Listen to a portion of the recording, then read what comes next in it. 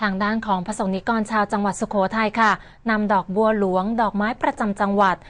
ได้มีการประดิษฐ์เป็นดอกไม้จันทร์พระราชทาน ร่วมกันน้อมส่งเสด็จสู่สวรรคาลัย รายละเอียดจะเป็นอย่างไรนั้นติดตามได้จากรายงานค่ะปทุมรัตนชาติ เส้นสายลายศิลป์อย่างสร้างสรรค์ของคณะครูแผนกวิชาวิจิตรศิลป์ที่บรรจงถ่ายทอดความจงรักภักดี สู่การออกแบบช่อดอกไม้จันทร์พระราชทาน ประจำจังหวัดสุขโขทัย ประกอบกับฝีมืออันประณีต ของคณะครูแผนกวิชาขหกรรมศาสตร์ ในการประดิษฐ์ความงดงามของดอกบัวหลวง ดอกดารารัตดอกแก้ว และการเข้าช่อดอกไม้จันทร์พระราชทาน ด้วยน้อมสำนึกในพระมหากรุณาธิคุณ อันหาที่สุดมิได้ ของประสบกนิกรชาวสุขโขทัย ปทุมรัตนชาติ คือชื่อช่อดอกไม้จันทร์พระราชทานประจำจังหวัดสุขโขทัย ซึ่งนางสาวกันนิกา จันโกเมศครูแผนกวิชาวิจิตศิลป์ วิทยาลัยอาชีวศึกษาสุขโขทัย ได้ออกแบบและให้ความหมายกับชื่อดอกไม้จันทร์พระราชทานช่อนี้ว่า ดอกบัวที่มีค่าประเสริฐสูงสุด หาได้ยาก ดังเช่นอัญมณี มีการนำดอกไม้หลายชนิดมารวมกับดอกบัวหลวง จัดทำเป็นช่อดอกไม้จันทร์ โดยมีแนวความคิดคือ ดอกบัวหลวง เป็นดอกไม้ประจำจังหวัดสุโขทัยสัญญลักษณ์ของคุณงามความดีในทางพุทธศาสนา ปรียบเสมือนพระศกนิกร ที่น้อมใจบูชา พ่อหลวงของแผ่นดิน ดอกบัวหลวงบาน สะท้อนถึงการตรัสรู้ ปัญญา ปฏิพานไหวพริบ เปรียบเสมือนพระองค์ ทรงมีพระปรีชาญาณในการทำโครงการเพื่อประชาชนกว่า 3,000 โครงการ ดอกบัวหลวงตูม ลักษณะคล้ายการพนมมือไหว้ อานิสงถึงปัญญาเฉลียวฉลาด ความอ่อนน้อมถ่อมตน เปรียบเสมือนพระองค์ ที่เสด็จพระราชดำเนินไปทุกที่ที่มีราษฎร เข้าใจ เข้าถึง พัฒนา เพื่อให้ชาวประชาอยู่ดีกินดี และทรงไม่ถือพระองค์ ดอกดารารัต เป็นดอกไม้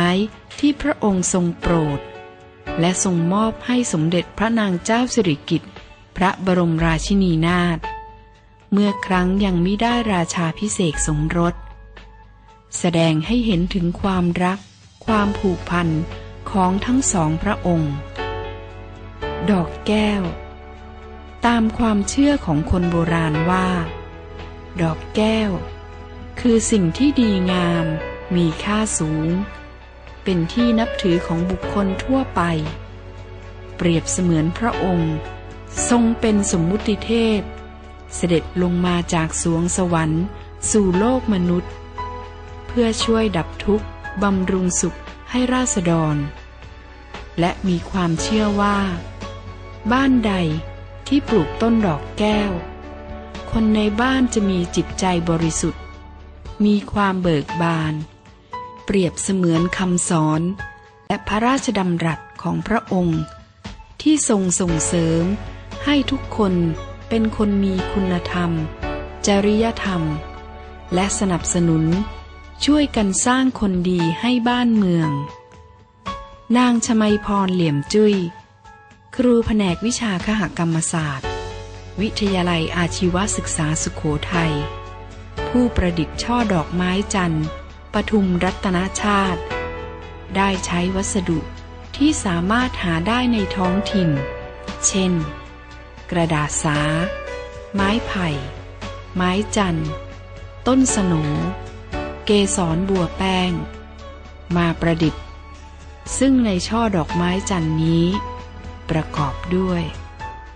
ดอกบัวตูมคละขนาดจำนวนสี่ดอก ดอกบัวบานคละขนาดจำนวนห้าดอก ดอกดารารัตจำนวนห้าถึงเก้าดอก ดอกแก้วจำนวน5-9ดอก ใบบัวหรือใบไม้ที่มีลักษณะแตกต่างกัน คละขนาดตามความเหมาะสม ต้นหญ้าหรือใบไม้ ที่มีลักษณะเรียวแหลม ก้านหนวดจันทร์จำนวน9ก้าน ทูบเทียน ขนาดเท่ากันอย่างละหนึ่งแท่ง และริบบิ้นสีขาวหนึ่งช่อ เมื่อนำดอกบัวหลวงบาน ดอกบัวหลวงตูม ดอกดารารัตและดอกแก้ว มาเข้าช่อรวมกัน แซมด้วยใบไม้ชนิดต่างๆทำให้เกิดความงดงามที่ทรงคุณค่าด้วยความหมาย และเกิดคุณค่าทางจิตใจที่งดงาม ที่ประสบกนิกรชาวสุขโขทัย น้อมถวายในพระราชพิธี ถวายพระเพลิงพระบรมศพ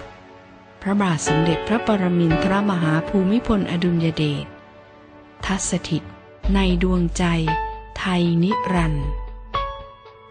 วิชัยสิทธิพันธ์ถ่ายภาพ รัพิพรมีสะอาด ประชาสัมพันธ์จังหวัดสุโขทัย รายงาน